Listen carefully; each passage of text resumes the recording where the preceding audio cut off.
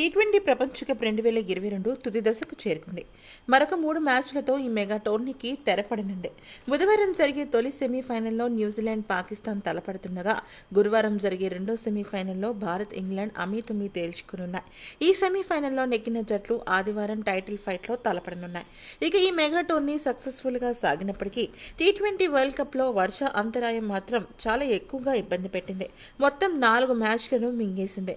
మరొక మ్యాచ్ ఫలితాన్ని ప్రభావితం చేసింది. ప్రస్తుతం వర్షం వచ్చే సూచనలు ఉన్నా లేకపోయినా సెమీఫైనల్స్తో పాటు ఫైనల్కి కూడా రిజర్వ్ డేనైతే కేటాయించింది ఐసీసీ. ఇక రిజర్వ్ డే కూడా వర్షం కారణంగా మ్యాచ్ సాధ్యం కాకపోతే పరిస్థితి ఏంటి అనే సందేహం చాలా మంది మధ్యలో మెదులుతోంది.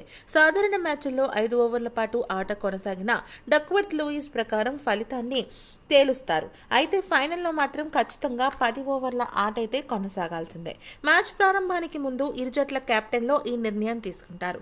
సెమీఫైనల్ సందర్భంగా ప్రతికూల పరిస్థితుల్లో మ్యాచ్ రోజుతో పాటు రిజర్వ్ డే కూడా పది ఓవర్ల ఆట కొనసాగకపోతే పాయింట్స్ టేబుల్లో మెరుగ్గా ఉన్న జట్టును చే- జట్టు ఫైనల్కు చేరుతుంది.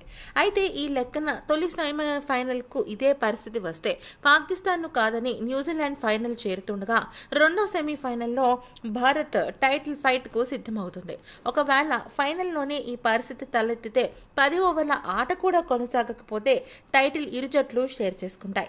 అక్కడి వెదర్ రిపోర్ట్ ప్రకారం సెమీఫైనల్స్లో జరిగే ఆడిలైట్తో పాటు సిడ్నీలో కూడా వర్షం వచ్చే అవకాశాలు ప్రస్తుతానికైతే లేవు.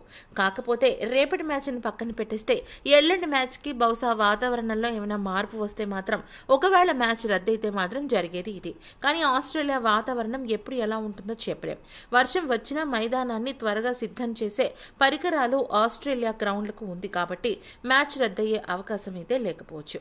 ఈ వీడియో కనుక నచ్చితే లైక్ చేసి సబ్స్క్రైబ్ చేసేసుకోండి.